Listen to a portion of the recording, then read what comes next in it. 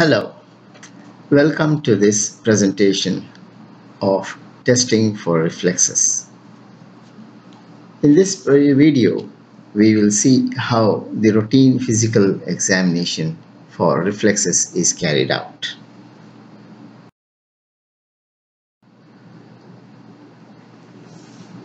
Let us begin by asking the question, what is a reflex?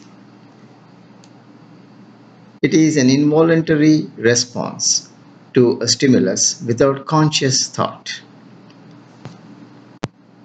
You may be familiar uh, with the condition when you have accidentally touched a hot object. You suddenly withdraw your hands.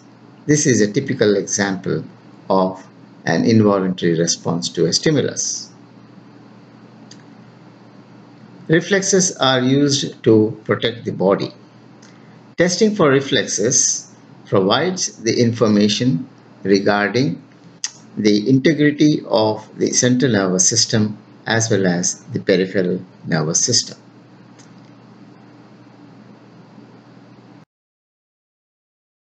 Reflex. For any reflex to take place, we need a reflex arc and this is made up of seven different components.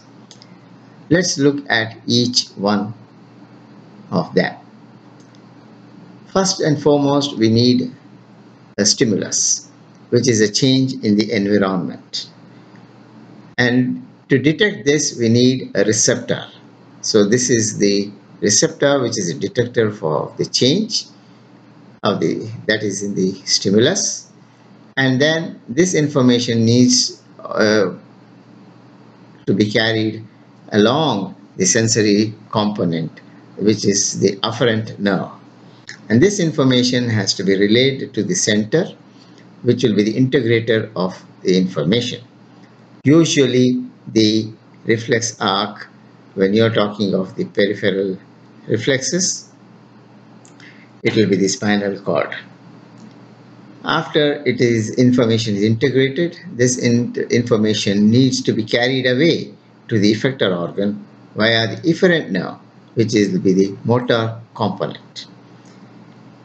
Once it reaches the effector organ, then the response will be seen, which is called as the effect.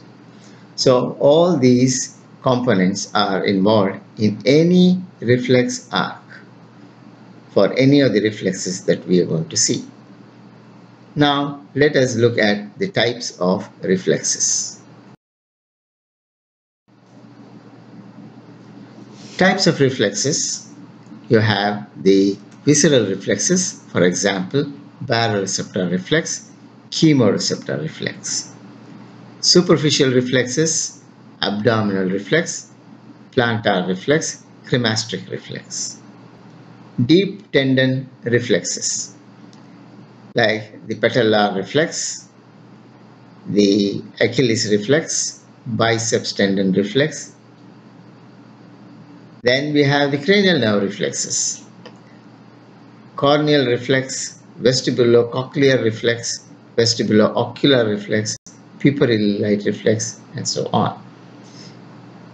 This type of classification is based on from where these reflexes are going to be elicited.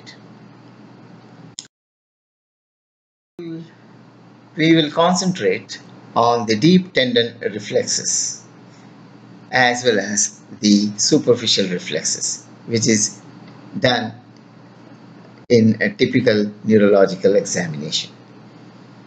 Deep tendon reflexes, they are monosynaptic reflexes and the function of the monosynaptic myotatic reflexes is to resist gravity.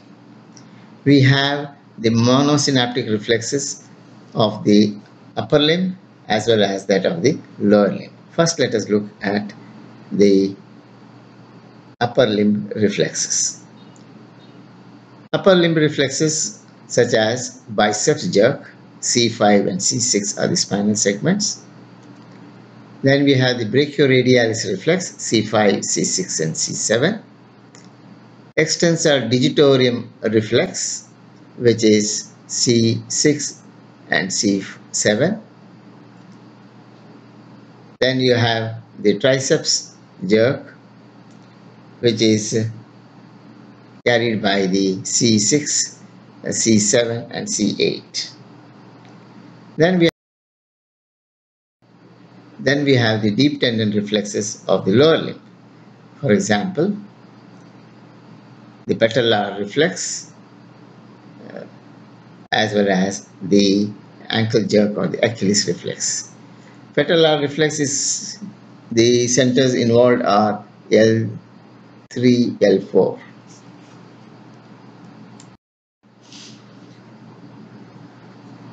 L3 and L4 for the patellar or knee jerk reflex, S1 and S2 for the ankle jerk or Achilles reflex. This particular diagram below shows the root values for these spinal reflexes. If you remember the nursery rhyme, which is slightly modified here, you can start from the lower aspect that is from the ankle jerk from there onwards 1 2 buckle my shoes 3 4 kick the door 5 6 pick up the sticks 7 8 lay them straight. This is how you can remember from below upwards the nerve root values for each of these reflexes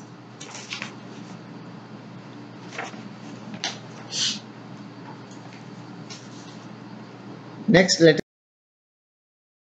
look at the mm, way to elicit these reflexes.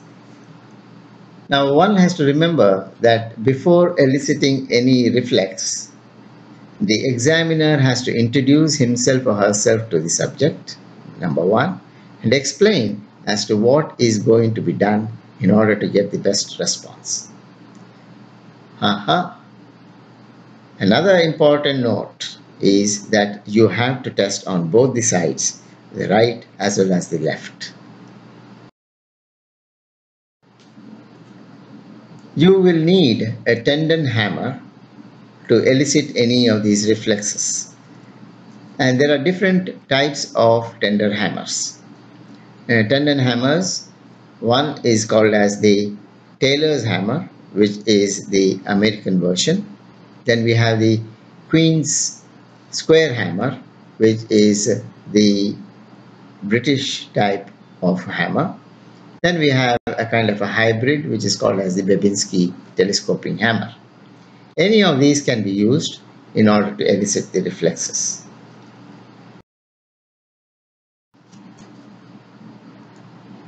Now, when eliciting these reflexes, you have to be tapping on the tendon of the respective muscle and these are some of the uh, examples shown as to where exactly you need to be tapping to get the reflex.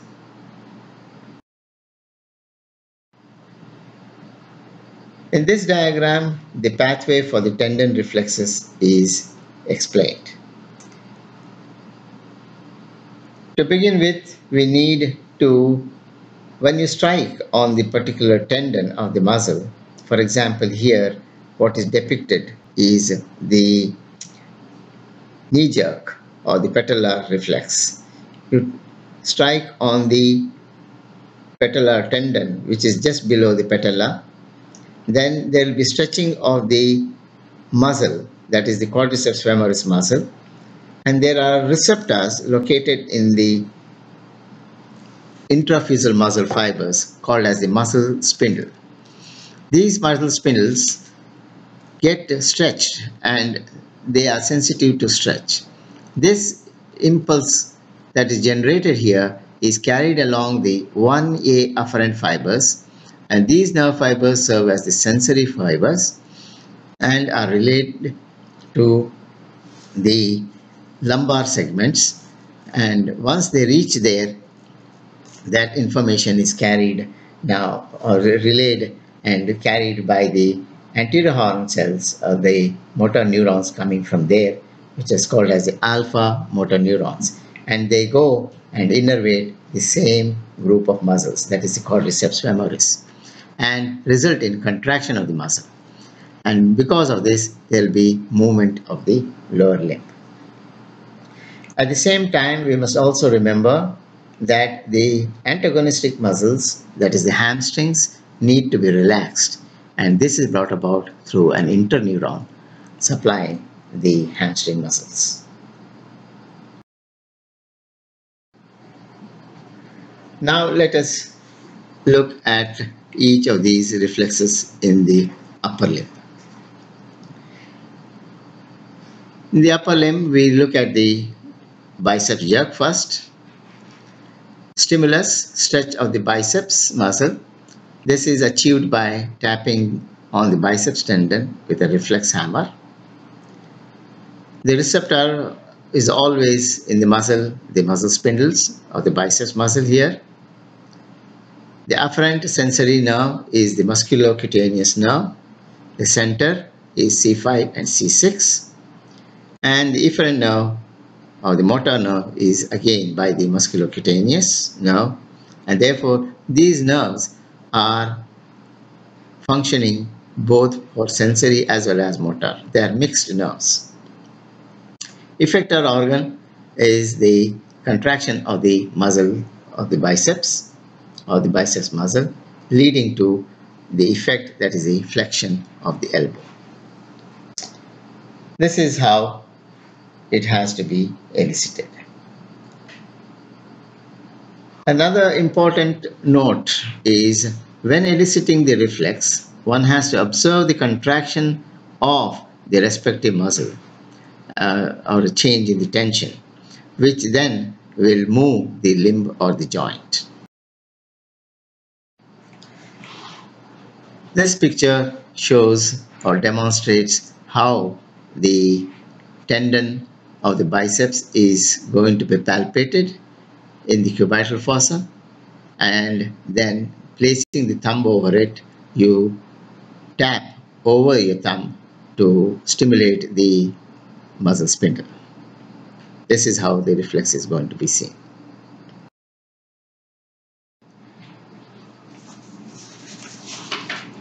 Next we move on to the triceps jerk. Herein the stimulus, we stretch the triceps muscle by tapping on the triceps tendon, which is at the back of the hand. and you strike over the tendon closer to the olecranon process. The receptor is the muscle spindle and the afferent sensory nerve is via the radial nerve. The centers are C7 and C8 the efferent motor nerve is carried again by the radial nerve, the motor component. The effector is the contraction of the triceps muscle leading to extension of the elbow joint. This is how one can elicit the triceps jerk by tapping on the triceps tendon over the olecranon process. Next we move on to the brachioradialis jerk. Herein the stretch of the brachioradialis muscle is brought about by tapping on the brachioradialis tendon near the wrist. The receptor is this muscle spindle of the brachioradialis muscle. The afferent sensory nerve is carried via the radial nerve. Centers are C5 and C6. Efferent nerve is via the more radial nerve itself, the motor component. Then the effector is the contraction of the brachioradialis muscle leading to the effect that is supination of the forearm. This is how the upper limb reflexes are tested. The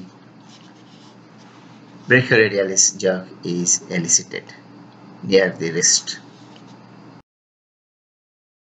Next we move on to the lower limb reflexes, the patellar or knee jerk. Stimulus, stretching of the quadriceps femoris muscle. tapping on the patellar tendon, just below the patella. Receptors again the muscle spindles of the quadriceps femoris muscle. Afferent sensory nerve carried along the femoral nerve. Center is L3 and L4. Then the efferent motor nerve is also carried along the femoral nerve and the effector is the contraction of the quadriceps muscle leading to brisk extension of the leg at the knee joint.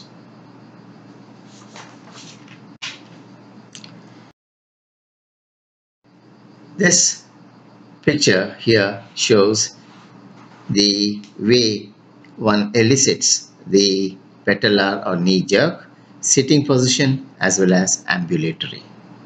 You have to remember to strike just below the patella, not on the patella. That is going to be very painful. Now, you may have a situation when any of these deep tendon reflexes are absent. One should try reinforcement. Now, how is it going to be brought about? While testing for the patellar reflex, the subject is asked to hook the flexed fingers of the two hands together and pull on them at the time the reflex is being elicited. Similarly, when testing the upper limb reflexes, the subject is asked to clench his teeth at the time the reflex is being elicited. In this way, we are activating what is called as the gamma motor neurons and thereby the muscle spindles become more sensitive. This diagram here shows how the fingers are interlocked and how one has to pull against each other when we are eliciting the particular reflex. Next we move on to the ankle jerk. Stretching of the calf muscles by tapping on the tendo-Achilles tendon by uh, using the reflex hammer or the patellar hammer is the stimulus. Muscle spindle of the calf muscles, the gastrocnemius muscle is the receptor. Afferent sensory nerve is carried via the sacral nerves. Center is S1 and S2 and the efferent motor is also carried along the sacral nerve. The effector is the contraction of the gastrocnemius muscle leading to brisk flexion of the ankle. This is how this is how we elicit the reflex in the standing position as well as that in the ambulatory position. These are the two diagrams to depict how the patellar, plantar, sorry, the ankle jerk is going to be elicited. Then we move on to the superficial reflexes. For example, plantar reflex. Let's look at it first. Plantar reflex, we have to firmly stroke the skin with a blunt instrument, for example, the back of the percussion hammer or also a key can be used over the lateral border of the sole of the foot then moving towards the great toe. Receptor now will be the nociceptors of the skin of overlying the foot. Afferent sensory nerve is carried via the tibial to the sciatic nerve and then the centers are L5 and S1. The efferent nerve, the motor is carried via the sciatic nerve. The effector is the toe flexors and the effect will be plantar flexion of all the toes. This is a typical normal plantar reflex. This picture here shows how a normal plantar reflex is seen when one strokes along the sole of the foot from the heel towards the great toe over the lateral border. On the picture on the right side shows how a typical Babinski's sign positive will be seen. Dorsiflexion of the great toe as well as fanning of all the toes will be seen. This is Babinski's sign being positive.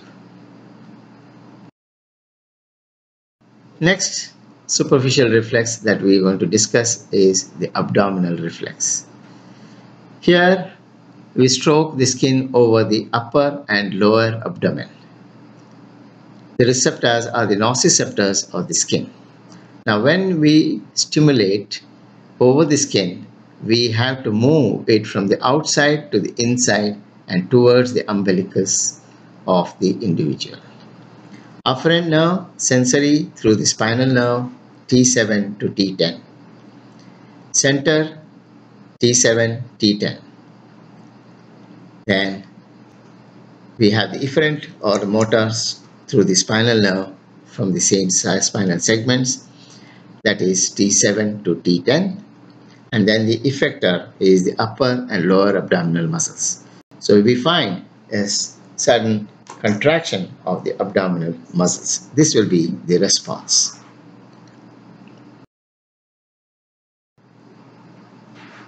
The picture on the left shows the the responses.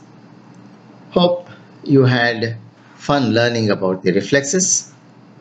Thank you for watching. I would appreciate any feedback. Thank you.